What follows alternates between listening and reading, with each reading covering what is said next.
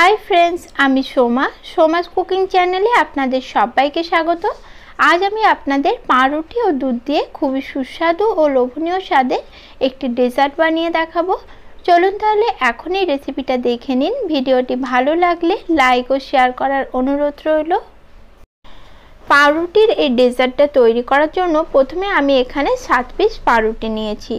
এখন এই পাউরুটিগুলোকে আমি ছোট টুকরো করে কেটে নেব। ঠিক এইভাবে এক একটা পাউরুটির পিসকে আমি চার টুকরো করে কেটে নিচ্ছি। আপনারা চাইলে চৌকো করেও কেটে নিতে পারেন। দেখুন, এইভাবেই সব কটা পাউরুটি আমি প্রথমে কেটে রেডি করে নিচ্ছি। সবকটা পাউরুটিকে একই রকমভাবেই তিকোনা করে আমি কেটে নিয়েছি। এখন এগুলো আমি ভেজে নেব, তার জন্য কড়াইতে ভালো করে তেলটা গরম করে নিয়েছি। এরপর গ্যাসের ফ্লেমটা মিডিয়াম করে দিয়ে পাউরুটির টুকরোগুলো এইভাবে তেলের মধ্যে দিয়ে দিচ্ছি। আর মিডিয়াম ফ্লেমেই পাউরুটিগুলোকে আমি লালচে করে ভেজে নেব। তেলে দেওয়ার পরে এগুলো একটু বেশি নরম হয়ে যায়, কিন্তু যখন এক সাইডটা ভাজা হয়ে যায়, তখন দেখবেন এগুলো সুন্দর শক্ত হয়ে যায়। এখন এক সাইডটা ভাজা হয়ে যেতে অপর সাইডটা উল্টে নিচ্ছি। আর একই রকমভাবেই উল্টো সাইডটাও ভেজে নেব। দু সাইডটাই খুব ভালো করে লালচে করে ভেজে নিয়েছি, তারপর তেল ঝরিয়ে এগুলো আমি তুলে নিলাম।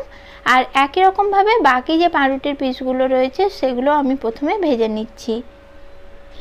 পাউরুটির এই ডেজার্টটি খুব সহজেই বানিয়ে নেওয়া যায়, আর দেখতে যেমন লোভনীয় হয়, খেতেও হয়, তেমনই সুস্বাদু। একই রকমভাবেই সব কটা পাউরুটির পিসকে আমি ভেজে রেডি করে নিয়েছি। এরপর একটা কাপের মধ্যে আমি নিয়েছি one fourth cup liquid milk দুধের মধ্যে দিয়ে দিচ্ছি দুই চামচ কর্নফ্লাওয়ার আর কর্নফ্লাওয়ারটা দুধের সাথে খুব ভালো করে মিশিয়ে নিতে হবে। আর এখানে দুধটা অবশ্যই ঠান্ডা হতে হবে। গরম দুধের মধ্যে কর্নফ্লাওয়ারটা কিন্তু ভালো করে মিশবে না। দুধ ও কর্নফ্লাওয়ার ভালো করে মেশানো হয়ে গেছে। আর এদিকে আমি পাঁচশো এমএল দুধ নিয়েছি। আর দুধটা একবার খুব ভালো করে ফুটিয়ে নিয়েছি। এখন দুধটা আমি আরও পাঁচ মিনিট মতো ফুটিয়ে নিলাম। তারপর এর মধ্যে আমি গুলে রাখার কর্নফ্লাওয়ারটা দিয়ে দেব। তবে দুধে কর্নফ্লাওয়ারটা দেওয়ার আগে আরেকবার খুব ভালো করে গুলে নিতে হবে। কারণ কর্নফ্লাওয়ারটা দুধের তলায় জমাট বেঁধে থাকে, তাই দুধে মেশানোর আগে অবশ্যই কর্নফ্লাওয়ারটা ভালো করে গুলে তারপর দুধে মিশিয়ে নিতে হবে।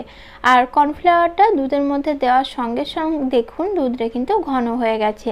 এইভাবে দুধটা আমি পাঁচ মিনিট মিডিয়াম ফ্লেমে আরও ফুটিয়ে একটু ঘন করে নেব। আর এই পর্যায়ে আমি এখানে দিয়ে দিচ্ছি ওয়ান ফোর্থ কাপ চিনি। চিনিটা অবশ্যই আপনারা নিজেদের টেস্ট অনুযায়ী ব্যবহার করবেন। যে যেমন মিষ্টি খেতে পছন্দ করেন, সেই অনুপাতে এখানে চিনিটা দেবেন।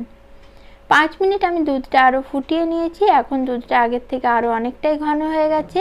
এর চেয়ে বেশি আর ফোটানোর প্রয়োজন নেই। কারণ এর চেয়ে বেশি ফোটালে দুধটা যখন পুরোপুরি ঠান্ডা করে নেব, তখন কিন্তু দুধটা আরও অনেক বেশি ঘন আর আঠালো হয়ে যাবে। খেতে একেবারেই ভালো লাগবে না। তাই এই পর্যায়ে গ্যাসটা আমি অফ করে দিলাম। এরপর দুধটাকে আমি একটা বোলের মধ্যে ট্রান্সফার করে নিচ্ছি। আর এই দুধের মধ্যে ভেজে রাখা পাউরুটির টুকরোগুলো আমি একে একে সাজিয়ে নেব।